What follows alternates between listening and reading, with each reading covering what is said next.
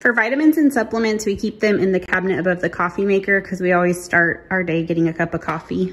I have essential oils to get my diffuser going, stevia for my coffee, some supplement drinks I like. Up here, I've got our supplement containers. I refill these containers every Sunday with the vitamins I keep in this container.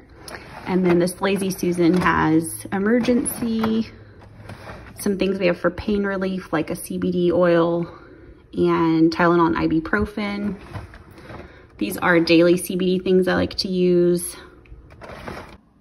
And then for prescription medications or medicine that we only need when we're sick, we don't really have much, but I have for children, for wounds, adult, and pet. And I just keep them in our master bathroom behind a child lock.